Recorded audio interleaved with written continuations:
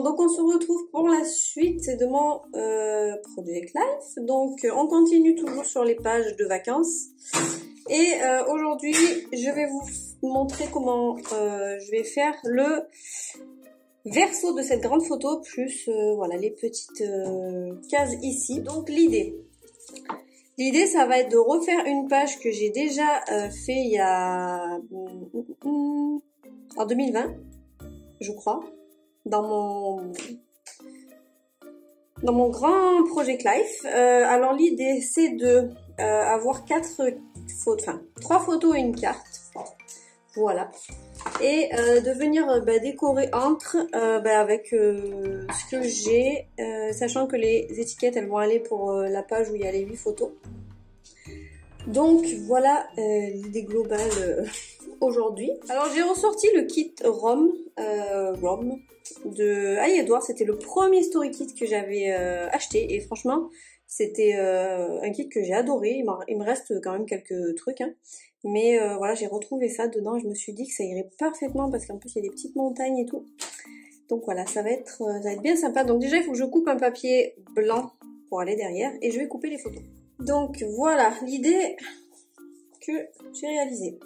Donc là, en fait, ma photo, on voit pas trop mon fils à la base parce qu'il était pas trop dans le cadre. Donc on va la caler ici parce que les bords sont déjà coupés. Après, donc j'ai coupé les cartes qui me restaient. Il m'en reste encore deux, mais bon, c'est des cartes euh, de journaling, donc il y a déjà des traits, c'est pas ouf. Donc ce que j'ai fait, j'ai euh, rentabilisé mon kit à fond. Donc j'ai coupé les cartes qui m'intéressaient. Donc là, je vais pouvoir écrire un petit peu. Voilà. Celui-là, euh, il y a un bord, donc il va aller de ce côté. Et là, en fait, euh, c'était sur la carte. Donc c'est pas grave, je vais essayer de le cacher. On va dire comme ça. Hop. Comme ça, on ne voit pas. Euh, Celle-là, ben, elle doit aller de ce côté aussi, parce qu'elle est coupée. Alors là, ça va être le Tetris, pour faire rentrer les trucs. Hein. Attention, le, le stratagème. Parce que du coup, on est un petit peu limité par euh, ben, les bordures et tout. Donc en fait, je voudrais que cette carte, elle soit un peu sur les autres. Sachant que je vais caler, et encore que, voyez, faire un espèce de truc comme ça. Et, et après venir compléter avec des petits chipboards ou des petits trucs, enfin voilà. Donc globalement, j'aurai juste là à compléter et euh, peut-être un petit peu là et là. Voilà.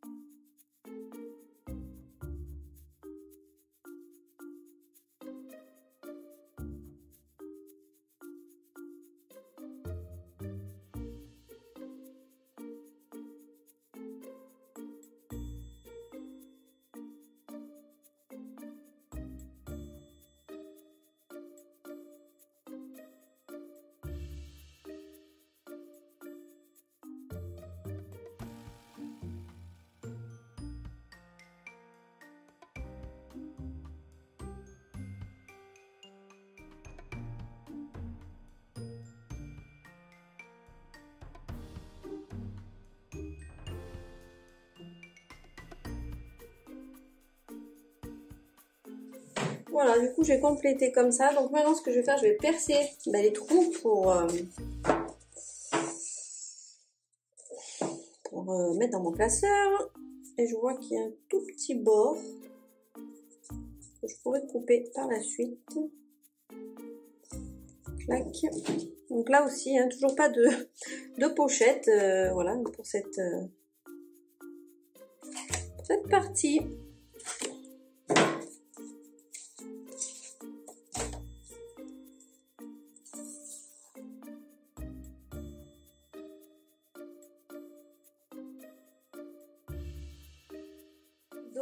Voilà, ça c'est bon.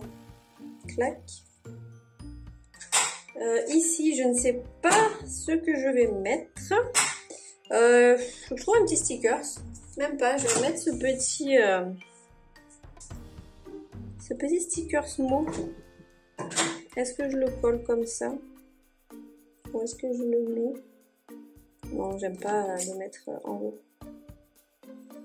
Vous savez que moi j'aime bien coller les trucs au milieu et mettre un petit coup d'agrafe.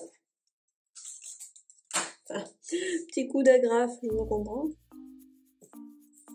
Clac.